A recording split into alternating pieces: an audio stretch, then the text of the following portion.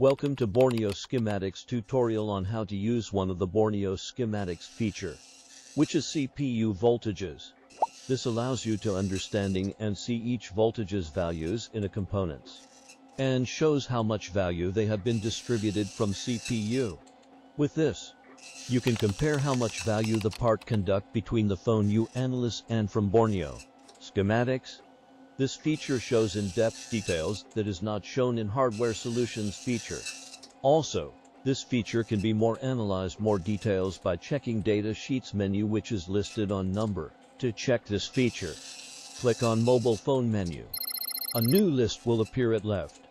Check on mobile phone solutions. Dioda value and then click on in out volt.